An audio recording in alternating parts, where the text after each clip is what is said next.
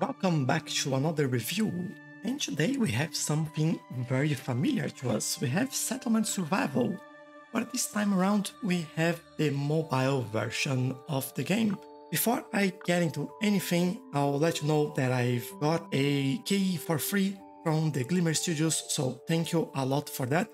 But all the points that I made here and my the opinions I present, they are my own and they are not influenced by that. And before we get into any of these points, I would like to say that if I believe that Settlement Survival Mobile is worth it, and my answer for that is yes. And I'll get into the details in a second.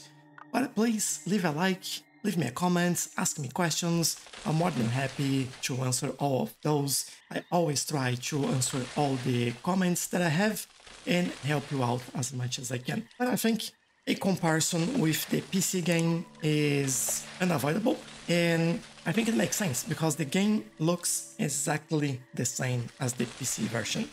So if you have played that on PC, you can translate the experience into mobile. There, there are some small differences in there that we'll talk about, and some of them make the game better, some of them don't so you can make your own decision. Based on our previous review, uh, we had a few things for the list of pros in the game.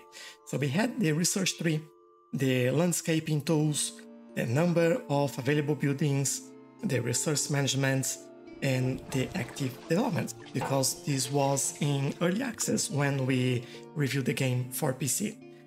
Now for mobile, you still have all of that, but with the addition that the game is a lot more mature and they are looking into all the feedback so they can make it better and better if you find some issues with the game. Something that is quite fantastic is I felt a little bit different about the game on mobile and on PC. So for mobile, I played on iPad and on, on my phone as well. And I, I thought the experience on both devices were very similar but the iPad provides a lot more screen space and feels a little bit better.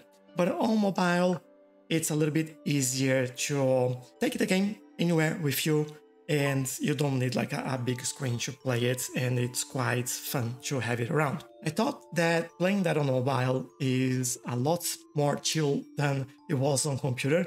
I don't know if it's the uh, the pressure on the computer, if I've I was playing a little bit more on that survival mindset, although it's definitely there for mobile. I thought it was a little bit more uh, fun to play it, and I could save it at any time and then come back it later.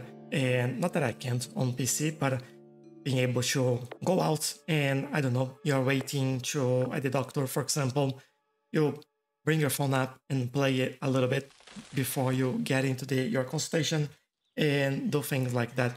It's just really, really cool. I think obviously it's a mobile game, but I think this brings a new layer of enjoyment and you can play it in smaller stints instead of playing for a long time, which is what I usually do on computer as well.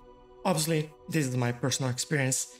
For you, could be a little bit different, and uh, you, you, can let me know in the comments as well. I would love to hear your experience with that, but I believe it's working really, really nicely. Now, moving on into what might be the cons list. What we had before was that it was still in early access, so there was a few bugs all around, and the UI uh, labels for English, there were a few things missing. I'm happy to say that it's in a better state now and uh, even the UI was adjusted for mobile, so it works a little bit better in terms of what you see and what you can do on the screen as well. I just feel like if you use, for example, uh, an iPhone, as I do, you have that. Uh, you're probably seeing on the uh, on the image that you have that bar that shows up at the bottom of the screen all the time and sometimes you can actually read what is in there, but it goes away and you can still keep playing. So that's not a big deal. The description of the buildings is actually not there as well. So when you select a building, to put down something like a house or a, a farm or uh, any other building really when you select the building you don't have any description. So you don't exactly know what materials you need for that or um, what what you can do with that building. You just have the name. And if like sometimes it doesn't tell you as much so for example if you have a repair shop do i need any materials for that uh, to be able to repair the uh, the houses and the other buildings around it.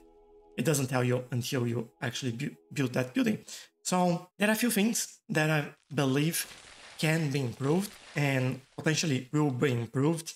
And the uh, Gleamer Studio is keeping an eye on all the feedback as well.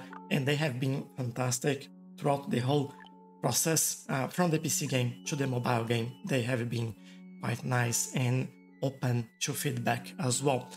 So I, I really hope that those smaller things they will be improved and that will be uh, helping everyone on the on the long term. In playing that on mobile, that is also my personal experience in I love to get things like in a certain way and a certain layout. And on mobile, because the place where you put things is just under your thumb, not that this is wrong, like I, I don't even know if that is a better way of doing it. But just because it's under your thumb, you sometimes can't see the exact position you are playing things uh, or you're putting things. So you can see me tapping on the screen here and there and moving around. And sometimes I'm just trying to get like a better angle to see things. But what I also realized is that the more I played, the easier it was getting. So this was something that wasn't a problem after some time. So I was just getting used to it. So I just feel like that's the, the style in there and it is what it is, you know? It's uh it's an enjoyable game anyway. I still think the graphics of the game they fit very well. I still like the music. I still like the animations. Um, you still can build pretty large map. I just think you have one option uh, that's not available in the mobile, but it's available on PC. But it's still like a huge map, and you can build like a, a huge town in there. You won't have problems with that. Like, feel free to to explore it. Currently have 12 languages that includes English, French, German, Russian, Spanish, Portuguese, Italian, Polish, Turkish, Korean, Japanese, and simplified Chinese. It's a lot. Keep in mind that you have uh, different levels as well, difficulty levels. So you have easy, normal, hard, and extreme. Um, you can explore those options and when you start a new game and change the size of the map as well and resources available. So you have speeds from 1 to up to 5 times, uh, which helps when you're waiting for things to get built. I don't want to say that's an improvement on the PC game because the game is very much the same, but it's an improvement on the experience if you can't stay at a computer all the time or if you don't want to or if you prefer games on mobile. So you can check it out. The game is available on the App Store and on Google Play and on TapTap. That's available for Android. And you have a free demo for Android, but the game is paid after that and it's paid for uh, in the App Store as well. Take a look at the trailers, take a look at the gameplay that I'm showing you. But if you enjoy the PC game, you might enjoy that as well. Let me know your comments, uh, how you felt about that, if you have any feedback as well let me know that and I will pass that along for the developers. So in conclusion, do I think that Settlement Survival, the mobile game, is worth it? My answer is yes.